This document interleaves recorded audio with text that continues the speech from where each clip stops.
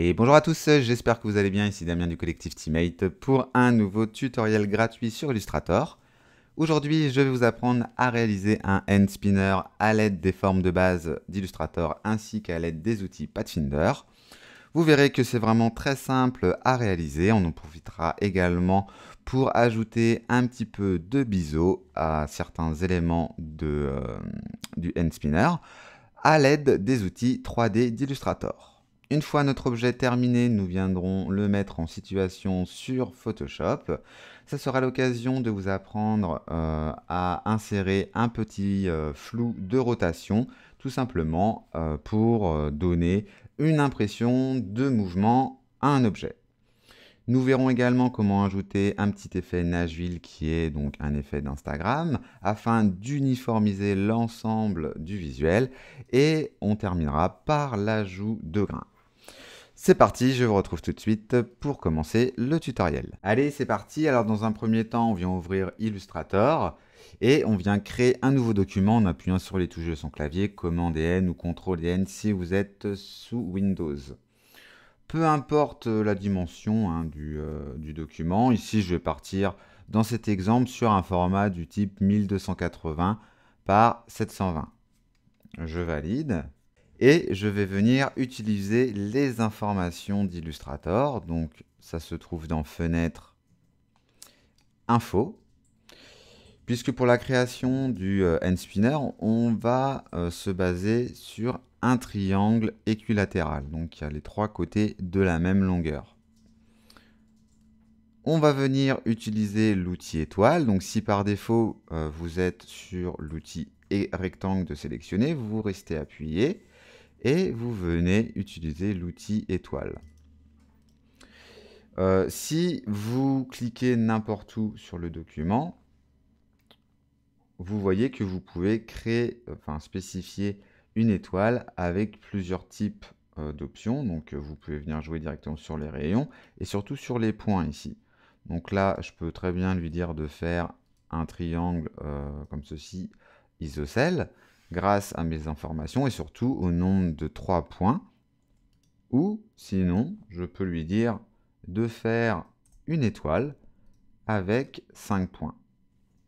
Sinon, à main levée, vous pouvez définir le nombre de sommets, on va dire, ou de, points, en cliquant, vous voyez, comme ceci, n'importe où, et juste en venant donner des petits coups de flèche directionnelle, donc là, vous voyez que j'étais à 3 points. Si je donne un coup de flèche directionnel vers le haut, je me retrouve avec 4 points, et ainsi de suite. Donc là, c'est comme ça que vous pouvez faire des soleils ou des formes assez, assez jolies, euh, grâce à cette petite option de, touche directionnelle. Ça évite de rentrer dans les options. Donc ici, j'ai dit que je voulais 3 points, donc je me remets à 3 points. Et j'appuie sur Shift pour rester droit et pour donc faire un triangle parfaitement équilatéral. Et je vais spécifier une largeur. Donc là, vous voyez, mes infos, les valeurs changent en fonction euh, de la taille de, mon triangle. Je vais lui dire de spécifier, de faire un triangle de 215 par 186. On peut se se positionner à peu près comme ceci au milieu du document, à peu près. On n'hésite pas à zoomer. Et là, ce calque 1, on va l'appeler modèle. On va venir créer un nouveau calque qu'on va appeler modèle cercle. Et je vais vous expliquer un petit peu la composition du end spinner. Donc on va venir sélectionner l'outil ellipse et on va cliquer là n'importe où dans le document. On va venir faire un premier cercle de 35 pixels par 35 pixels. On peut venir modifier son contour. Hein, euh, on va mettre un contour rose dans un premier temps. Donc en gros, la base du haut, voilà comment euh, elle va être euh, définie. Donc on va positionner, donc je vais enlever le fond pour que tout le monde nous voit un petit peu plus clair. Je viens zoomer. On va venir positionner la pointe de notre euh, triangle équilatéral vraiment sur le, on va dire la, base, le haut du cercle, donc pour avoir quelque chose comme ceci. Au niveau euh, des deux autres sommets, donc du bas, ça va un petit peu changer, mais on verra ça tout à l'heure. Pour l'instant, là, on va se concentrer sur la partie haute. Donc on avait créé un calque modèle cercle. On va venir le dupliquer donc en le sélectionnant et en le faisant glisser sur la petite icône juste ici en bas. Et on va venir le renommer en cercle 2. Lui, euh, donc, on va peut-être changer sa couleur. Donc on avait juste laissé un petit contour, euh, vous voyez rose, on va l'intervertir pour plutôt utiliser une couleur de fond. Ici, on vient le sélectionner, le cercle 2, on l'intervertit et on va changer sa couleur. On va par exemple se mettre en bleu ciel. Et surtout, on va venir augmenter sa taille. Donc on va lui spécifier une taille de 50 pixels. Donc pour ce faire, on vient cliquer, vous voyez, sur un angle, on appuie sur Alt et Shift, comme ça on augmente sa taille vraiment en, par rapport à son milieu, et on va venir l'augmenter, on ne peut pas se louper, on a les infos, on se met à peu près comme ceci à 50 pixels. Au niveau du contour, on va lui mettre, donc on vient cliquer sur la petite icône ici. Si vous n'avez pas l'onglet contour d'afficher, vous cliquez sur fenêtre et sur contour. On va lui mettre 2 pixels en contour. Au niveau de l'alignement, on lui met contour aligné sur l'intérieur et non pas sur l'extérieur. Sinon, on vient rajouter 2 pixels euh, à notre forme initiale. Donc, au lieu de faire 50 pixels, il en fera 52. Pour l'instant, on peut euh, se laisser en rose. Et on va mettre le cercle 2 ici en arrière-plan.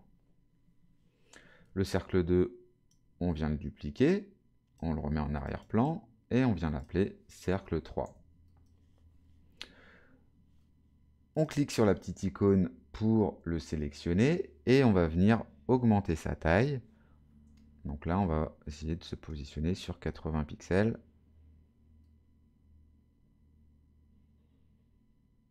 Voilà, à peu près. Le cercle 3, on vient le, dupliquer, on le place en arrière-plan et on vient l'appeler cercle 4. On le sélectionne et lui, on va venir augmenter encore légèrement sa taille. On va plutôt se mettre là à 90 pixels.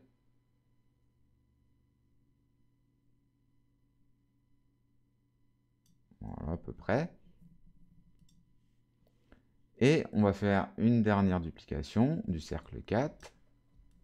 On le met en arrière-plan et on va venir le renommer cercle 5. On le sélectionne et encore une fois, on vient augmenter sa taille en appuyant sur Alt et Shift et on va venir l'augmenter jusqu'à 120 pixels. Voilà à peu près. Par contre, le dernier cercle, on va lui enlever son contour. Et là, on pourra peut-être changer un petit peu les couleurs. Surtout euh, du fond de chaque élément. Puisqu'on va venir utiliser les Pathfinder, donc pour que tout le monde comprenne. Donc là, je fais des trucs qui piquent un peu les yeux, hein, c'est normal.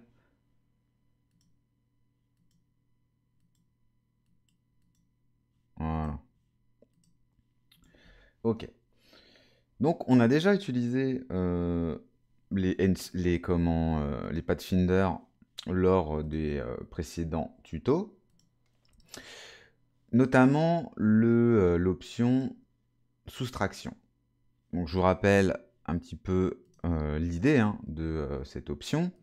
Donc, par exemple, si je crée un premier cercle comme ceci en rose et un deuxième ici que je viens mettre aller en jaune sans contour. Si je veux soustraire la forme du dessus à celle du dessous, par exemple pour faire une petite lune, eh bien, je sélectionne donc mes deux formes et je viens cliquer sur cette option soustraction. Donc cette option, hein, vous rappeler, c'est bien la forme du dessus qui se soustrait à la forme du dessous. Et voilà, comme ça on peut faire une petite lune, c'est rigolo. Donc là, on va utiliser ce même procédé pour soustraire, en fait, pour créer le vide euh, dans chaque forme. Et le contour, enfin le modèle cercle, on va venir le dupliquer plusieurs fois. Donc pour l'instant, on le duplique une fois, on peut le masquer en cliquant sur le petit œil. Donc le premier cercle que l'on a créé, on va peut-être enlever son contour. On peut essayer de masquer tous les autres cercles pour que tout le monde comprenne. On vient sélectionner ces deux formes. Et donc je veux que ma forme du dessous, du dessus se soustrait par rapport à la forme du dessous. Donc je viens cliquer tout simplement sur cette option de soustraction. Le calque 2, on peut le supprimer, puisque là, les deux calques ont été fusionnés. Hein. D'ailleurs, on va renommer ça en cercle 2. On peut le masquer, réafficher le cercle 3, redupliquer le calque modèle cercle, on l'affiche du coup, on sélectionne ces deux formes en appuyant sur Shift, et comme pour tout à l'heure, on vient cliquer sur soustraction. Le cercle 3, on le supprime, le modèle cercle, on vient le mettre en dessous de cercle 2, et on vient le renommer en cercle 3 on peut le masquer. Le cercle 4, on peut l'afficher. On vient redupliquer le modèle cercle. Voilà, qu'on vient afficher. On sélectionne nos deux formes et on vient les soustraire. Le, le, cercle 4, on le supprime. Le modèle cercle, ici, on vient le positionner en dessous cercle 3 et on renomme en cercle 4. On va faire la même chose avec le cercle 5. On duplique on affiche le modèle cercle, on sélectionne nos deux formes et on vient pathfinder tout ça. Le modèle cercle, on le met juste en dessous de cercle 4 et on l'appelle cercle 5. Et on vient supprimer le calque vide. Donc notre cercle 5, on peut peut-être lui mettre une autre couleur. Hein. On va peut-être ici partir euh, sur un petit euh, rouge orangé. à peu près comme ça. Je me mets en D8 30 30 au niveau de la valeur hexadécimale. On peut afficher notre calque cercle 4. Donc si on le, euh, on le sélectionne, là on peut venir modifier le contour. On peut peut-être se positionner sur un gris du type C6, C6, C6. Ou peut-être quelque chose d'un petit peu plus clair. D1, D1, D1. Et au niveau de la couleur de fond, là on peut partir peut-être sur un gris assez foncé. On peut peut-être se mettre en 30, 30, 30. On peut réafficher le cercle 3. Et on va faire la même chose. Donc avec le cercle 3, on se remet en 30, 30, 30 au niveau de la couleur de fond. Et puis au niveau du contour, alors je me rappelle plus, j'ai une petite tête, ça doit être, ouais c'est D1, D1, D1. On vient se mettre en D1, D1, D1. Voilà. Et on vient réafficher notre cercle 2. On peut lui spécifier si on veut un petit contour aussi, hein. allez, de 2 pixels. On peut prendre la pipette même et piper par exemple le cercle 3, hein. voilà comme ceci.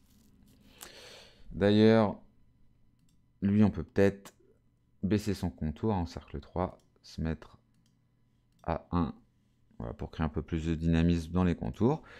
Et donc voilà, on a notre première partie de créer.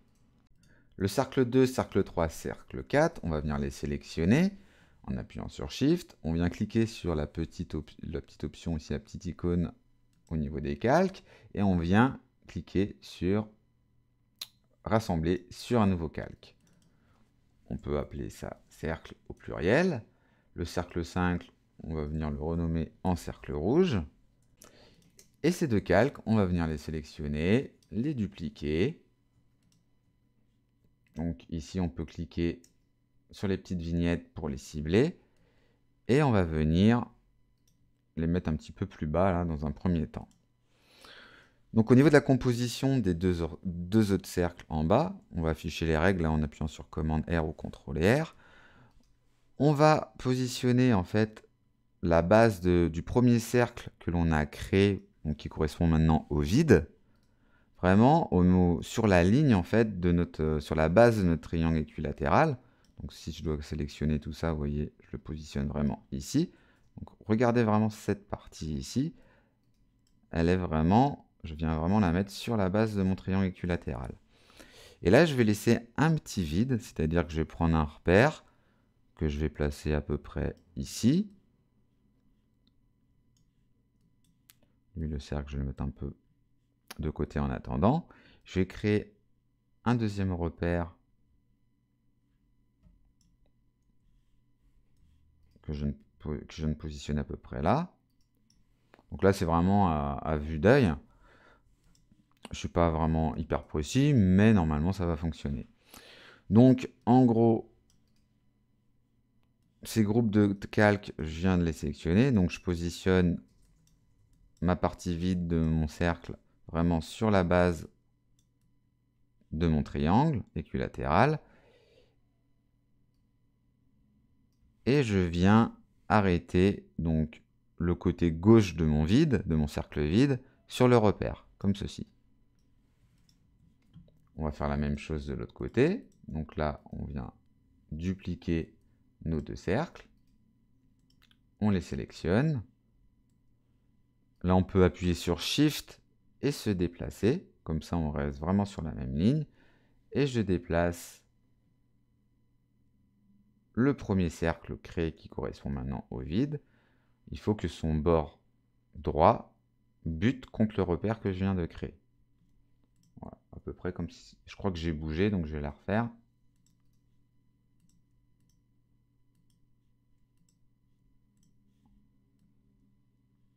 J'appuie sur Shift. Et voilà. Je viens de me positionner à peu près comme ceci. Donc là, vous voyez, on a déjà la forme. Maintenant, on va s'occuper des vides. Puisque, euh, comme vous devez le savoir, ici, on a un creux. Ici, donc à gauche, à droite, et ici en bas aussi. Donc on va se baser sur le cercle 3 ici, qu'on va venir copier. On va faire CTRL-C. On sélectionne, on fait CTRL-C. On va venir créer un nouveau calque qu'on va appeler cercle vide. Et on va venir le coller. On peut supprimer son contour. Et là, on va venir le positionner à peu près comme ceci. Donc là, je vais venir zoomer. En gros, il faut que les bords du cercle, donc du cercle noir là, touchent les bords des deux cercles rouges. Donc là, on est à, peu près bien. Hein.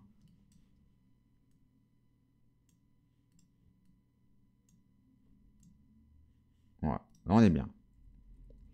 On va venir faire la même chose de l'autre côté. Donc là, on peut le dupliquer.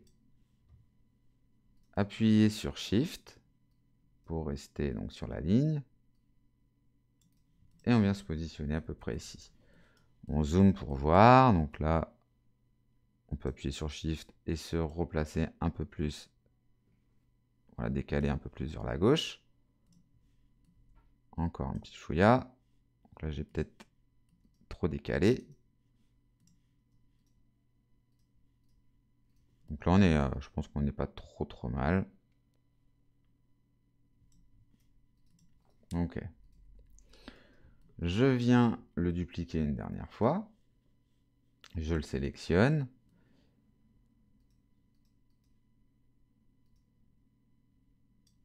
Et je viens me placer ici en bas.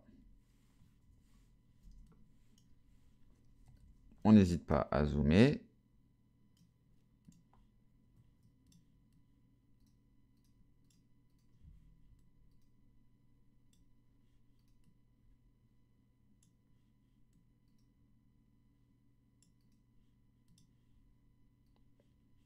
Je pense qu'on est bien.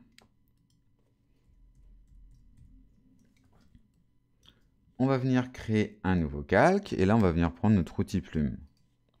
Donc en gros, on va créer une forme qui va venir, euh, qui va passer en fait au centre de tous nos cercles. Donc là on peut cliquer à peu près. Si on fait ça un peu à vue de nez, hein, on crée un premier point d'ancrage ici, un deuxième point d'ancrage ici, un troisième ici. Donc là, vous voyez, je fais en sorte que ça passe au milieu. Voilà. Et un autre ici.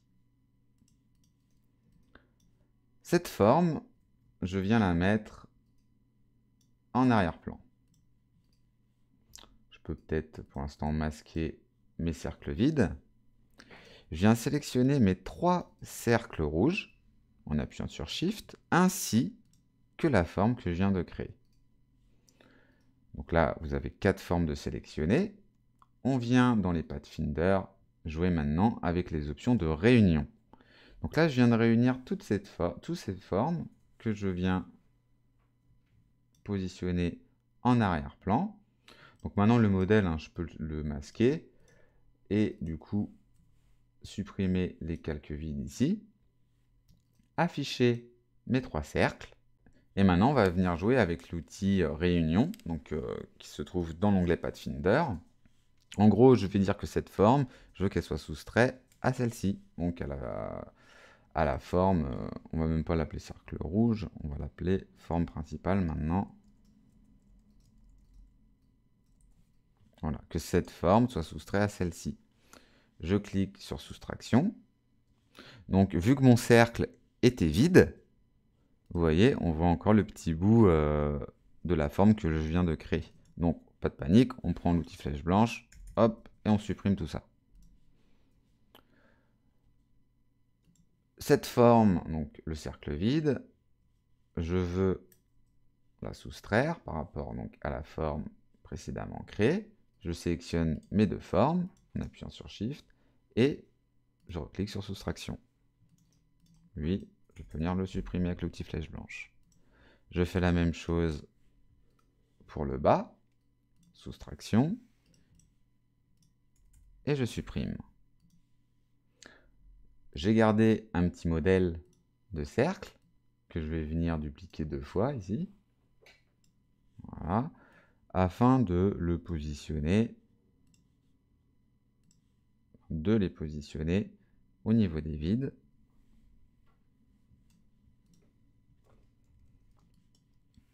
J'aurais dû le dupliquer, tiens. Sur chaque calque. Mais c'est pas grave. On va essayer de se bien se positionner. Ok, donc là on est bon. Je regarde si c'est pas trop mal de l'autre côté. Là je pourrais un petit peu le monter. Ok, là on est bien.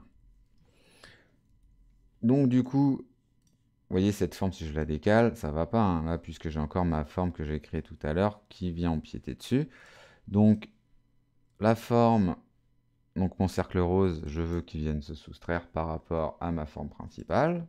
Donc je sélectionne ces deux formes, hop, Pathfinder et Pathfinder. On peut resupprimer tous ces calques. Lui, on vient se remettre en arrière-plan. Et là, on peut le renommer en euh, du coup modèle principal. Je vous ai fait le renommer tout à l'heure pour rien. Voilà, du coup le calque forme principal qui est vide, on peut venir le supprimer. Donc là on est à peu près bon. Il nous manque juste euh, la petite partie centrale que l'on va venir créer maintenant. On va venir créer un nouveau calque que l'on va appeler cercle euh, central. On sélectionne notre euh, forme modèle principale et à l'aide des repères, on vient positionner un repère vraiment au milieu absolu de la forme, comme ceci à peu près on se repositionne sur le cercle central et à l'aide de l'outil ellipse, on va venir créer un cercle de 95 pixels de diamètre. Au niveau de sa couleur, on va mettre un rouge un petit peu plus soutenu et on va vraiment le positionner par rapport, voyez, au centre de notre forme. À peu près ici. Si vous trouvez qu'il est un peu trop gros, hein, peut-être qu'on peut le réduire à peu près 90. On essaye d'avoir le même vide, ici, ici et ici. Ça me paraît, ça me paraît pas trop mal. Et maintenant, on va venir voir comment apporter un petit peu plus de volume euh, à notre end spinner. Donc, on va venir sélectionner notre euh, forme modèle principal. On va venir cliquer sur Effet, 3D, Extrusion et Biseautage. on n'oublie pas de cliquer sur aperçu. Donc là, par défaut, on a des valeurs euh, qui sont un peu bizarres. On vient tout sélectionner et remettre à 0. Là, on va venir s'intéresser juste au biseau. On va venir euh, cliquer sur biseau classique. Hein. Vous pouvez d'ailleurs vous amuser hein, euh, à changer. Hein. Vous voyez, complexe, complexe 2.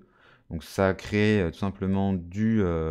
ça pour but de créer un peu plus de, volume à, votre, à votre forme.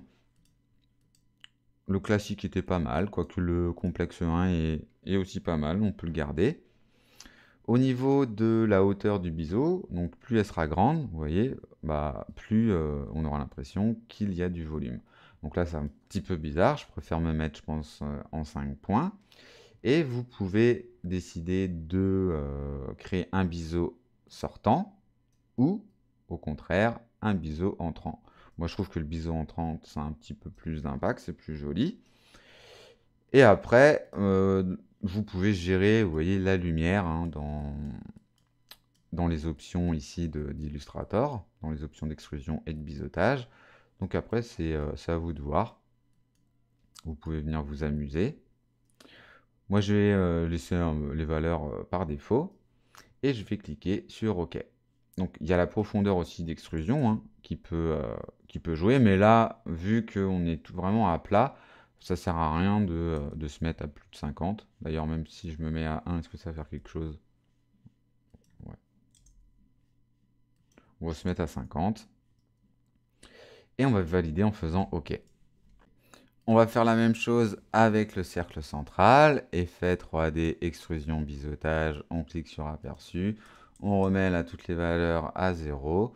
Euh, au niveau peut-être de cette valeur, on va peut-être se mettre à moins 10 et baisser la profondeur d'extrusion, la mettre peut-être à 10 ou à 15. Et au niveau du biseau, on peut se mettre peut-être en, en classique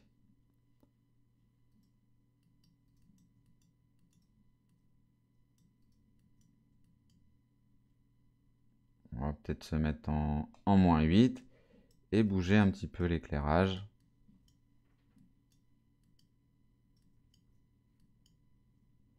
On va par exemple un truc un peu comme ça. La hauteur, on peut peut-être essayer de se mettre à 3.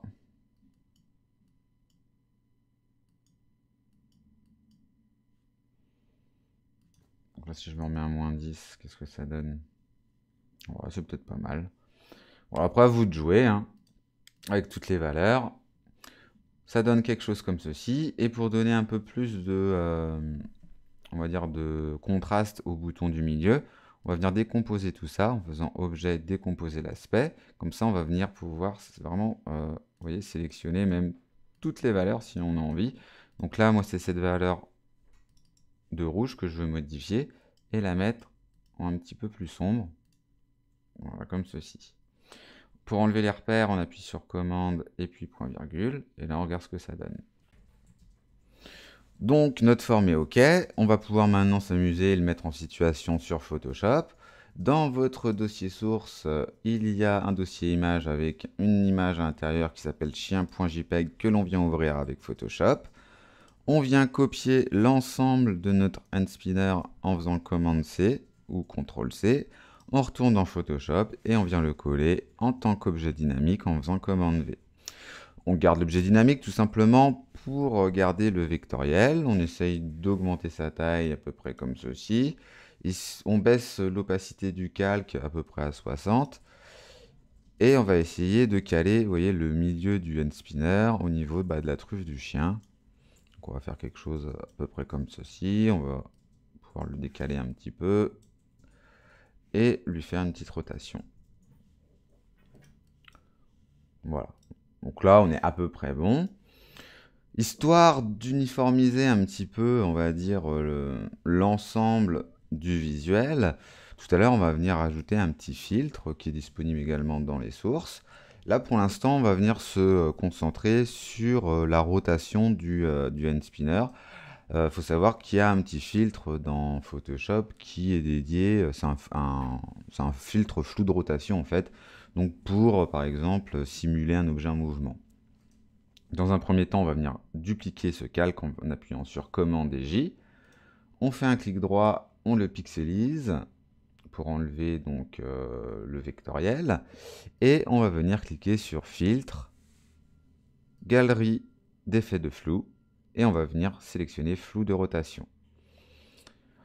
Si rien ne se passe, si vous n'avez pas le petit cercle ici, vous appuyez sur Commande et H.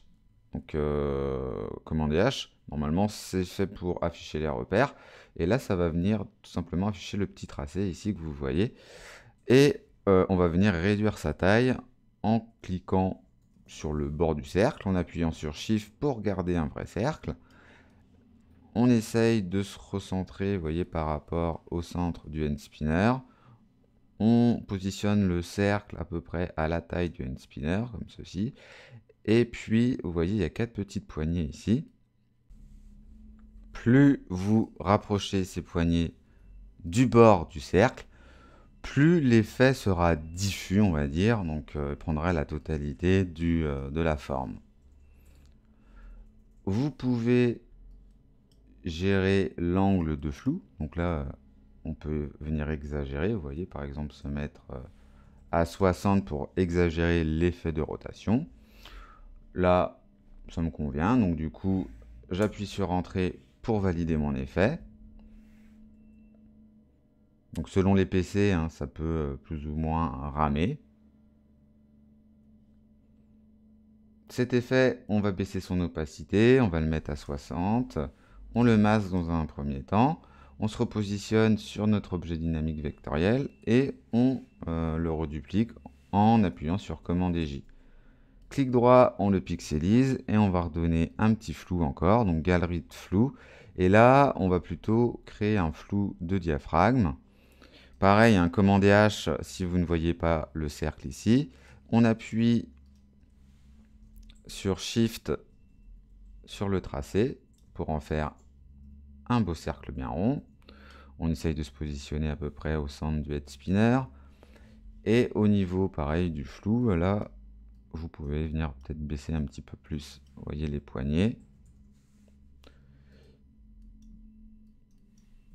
et augmenter peut-être légèrement, hein, se mettre à 30, le flou de diaphragme. On fait OK. Donc on appuie sur Entrée pour valider. Pareil, hein, ça peut laguer en fonction du PC. Là, on peut baisser un petit peu l'opacité, peut-être se mettre à 80. On rallume les deux. Et sur l'objet euh, dynamique vectoriel ici, on peut faire un clic droit et lui appliquer une toute petite ombre portée on peut peut-être lui spécifier une taille de 50, donc on se met en noir. Hein. Opacité à 25, ça me paraît pas trop mal. Voyez, ça apporte un petit peu euh, de, comment, de volume à l'ensemble. Au niveau de la distance, bah, moi je, suis, trouve que je suis bien hein, en 15, euh, taille 50, et puis au niveau de l'angle, je suis à moins 13, donc vous pouvez rajouter ces mêmes valeurs. Et on fait OK pour valider afin, comme je vous disais tout à l'heure, d'uniformiser un petit peu euh, le, visuel, histoire que ça soit un petit peu plus réaliste, on va venir appliquer un, petit effet. Mais d'abord, on va venir fusionner tous les calques en un seul calque. Alors je, m'explique, hein, on va appuyer sur les touches de son clavier Command, Alt, Shift et E. Donc on se met bien ici euh, sur l'objet, euh, sur le premier calque ici. Hein. Command, Alt, Shift et E ou Contrôle, Alt, Shift et E. Et vous voyez, ça nous génère un nouveau calque. Euh, donc en gros, tous les calques ont été fusionnés en un seul calque. Là, on peut l'appeler effet 1. On appuie sur commande et M pour afficher les courbes. Dans euh, cette petite icône au niveau des options, on va venir charger un paramètre prédéfini. Et dans votre bureau, dans le dossier donc Spinner, dans le dossier effet, il y a un petit effet Nashville que vous pouvez euh, venir sélectionner. Donc Nashville, je vous rappelle, c'est l'effet euh, qui est présent dans Instagram. Et du coup, euh, j'aime bien cet effet, puisque ça apporte un petit, une petite touche un peu vintage et Et du coup, vous voyez déjà, ça uniformise un petit peu plus le visuel. Par contre, l'effet est un peu violent, donc on va baisser son opacité à 60. En dernier lieu, on va ajouter un petit peu de grain à l'ensemble de l'image, puisque là, vous voyez que si on zoome sur le end spinner, là, on voit encore euh, bah, que c'est un petit peu, que c'est trop lisse par rapport à l'ensemble de l'image. Là, on voit qu'il y a un peu de grain dans le fond, même un petit peu, vous voyez, sur le chien. Donc pour ce faire, on va venir appliquer un effet de bruit. Donc on reclique, on appuie sur son clavier, commande Alt Shift et E pour refusionner tous les calques en un seul. On l'appelle effet 2. Et on vient cliquer sur filtre, bruit, ajout de bruit. Donc on peut se mettre euh, peut-être à 4 au niveau de la quantité. Et là, vous voyez, on uniformise encore l'ensemble de notre visuel. Donc le bruit est présent un petit peu partout et on fait OK pour valider. Donc là, voilà, on a une image un peu plus, euh, un peu plus réaliste. Si vous trouvez qu'il y a un, peu trop de bruit dans le fond, hein, rien ne vous empêche de créer un masque, de prendre votre euh, outil pinceau par exemple, d'augmenter le diamètre, de prendre une forme peut-être un peu diffuse et de supprimer donc là, je suis en fondu, je peux me mettre en normal, augmenter un peu l'opacité, de supprimer un petit peu, vous voyez, le flou, le, grain qu'il y a en arrière-plan, puisqu'à la base, il y a déjà du grain sur l'image. Donc nous, on voulait juste euh, se concentrer sur le comment le end spinner. On aurait très bien pu aussi procéder différemment, c'est-à-dire masquer, donc euh, là je masque ce calque, je euh, refusionne le tout en appuyant sur commande Alt Shift et E, je viens cliquer sur objet dynamique vectoriel. J'appuie sur la touche commande ou contrôle si vous êtes sur PC. Je me remets sur le calque 1. Et là, filtre, bruit, ajout de bruit. Et je fais OK. Donc là, vous voyez, j'interviens vraiment uniquement, on va dire, sur la sélection du end spinner. Et après, on peut baisser peut-être un petit peu l'opacité. Hein. Voilà, pour que ça soit un peu plus réaliste. Donc voilà deux méthodes, hein, euh, de façon de procéder. Les deux sont bien. Donc voilà, le petit tuto se termine. J'espère que vous l'avez apprécié. Si vous avez des questions, n'hésitez pas à me les poser dans les commentaires. Si vous avez aimé cette vidéo, n'hésitez pas non plus à nous mettre un petit pouce bleu, tout simplement pour euh, remonter euh, vidéos, la vidéo dans les résultats de recherche YouTube. Et je vous dis à très très vite dans un prochain tutoriel. À bientôt.